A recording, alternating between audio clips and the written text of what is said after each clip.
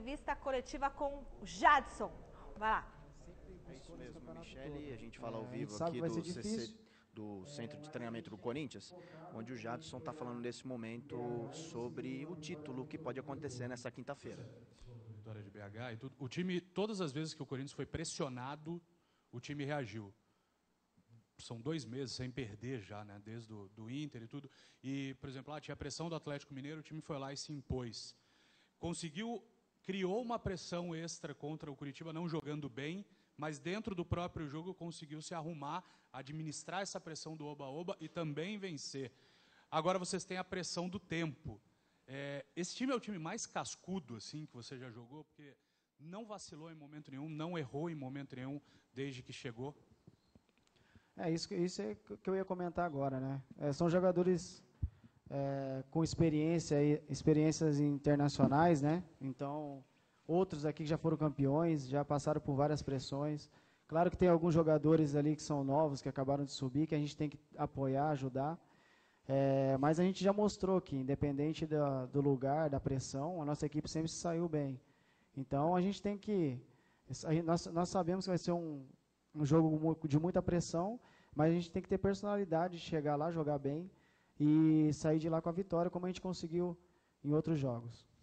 Jadson, é, ontem o Wagner Love teve aí na posição que você está e ele foi bastante sincero ao dizer que se o Corinthians perder esse título, os jogadores têm que apanhar de vara de goiaba. você acha isso também ou não? Ah, não, não, precisa ser para tanto, né? Mas é, eu acho que entendi o que ele quis dizer, né? Eu acho que está na, nas nossas mãos, né? Então é, a gente não pode deixar escapar. É, ele, eu acho que ele está certo até um certo ponto, né? Menos na, nessa vara aí de não sei o quê. Mas a gente tem que chegar lá e, e conseguir a vitória, ah, ou, ou, dependendo, tipo, a gente conseguiu um empate, o Atlético Mineiro empatar também, já consegue o título. Então a gente tem que sair de lá com resultado positivo, né? Isso aí que é o importante. E depois a gente vê o que acontece para frente.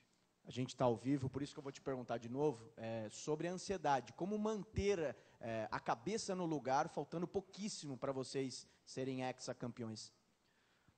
Não, aqui, é claro que é, a ansiedade existe é, para alguns jogadores mais, para outros menos, é, mas todos têm que ter a cabeça no lugar, né? É, chegar, saber lidar com essa ansiedade para quando chegar no jogo a gente é, tentar tirar, esquecer isso e jogar bem, como a gente vem jogando. Alguns jogos que a gente jogou é, no Campeonato Brasileiro aí, a, com um pouco de ansiedade, a, a, equipe acabou errando, né? Alguns passes, alguma é, passes que acaba tipo não errando no jogo normal, acabou errando. Então a gente tem que ter tranquilidade para jogar bem. Legal, Michele. O Jadson continua falando por aqui. Daqui a pouco a gente volta ainda dentro desse Gazeta Esportiva com mais informações sobre o Corinthians, tá bom? Tá certo. O CT Joaquim Grava, onde o repórter Felipe Esboril acompanha a tarde no Corinthians. Boa noite mais uma vez, Esboril.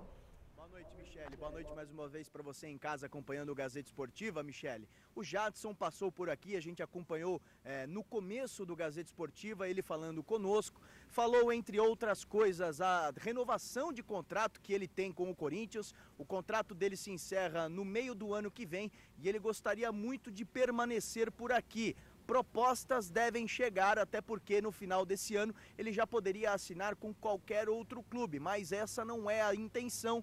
Ele que recebeu uma proposta da China no passado e não foi por causa de dinheiro que ele resolveu ficar, e sim porque gosta demais do Corinthians. O Timão treinou na tarde desta terça-feira sob o comando do técnico Tite, nesta tarde aqui no CT Joaquim Grava e fez algumas alterações, Michele, justamente por causa dos jogadores que estão na seleção brasileira e entrarão em campo hoje à noite contra o Peru.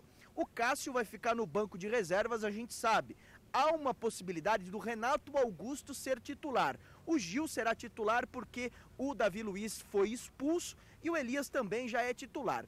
Esses últimos três, o Renato Augusto, o Gil e também o Elias, se atuarem contra o Peru, a tendência é que quinta-feira, contra o Vasco da Gama, lá em São Januário, no Rio de Janeiro, fiquem no banco de reservas. Como é, disposição do técnico Tite, à disposição do técnico Tite, eles ficarão no banco de reservas. Se não forem titulares ou jogarem parte do jogo, aí sim há uma tendência deles entrarem como titulares aqui na quinta-feira, lá contra o Vasco da Gama, nesse jogo que pode definir o título do Corinthians. O Corinthians precisa de apenas dois pontos nos próximos quatro jogos para conseguir o hexacampeonato. E o, o Jadson falou justamente sobre a ansiedade que os jogadores vivem.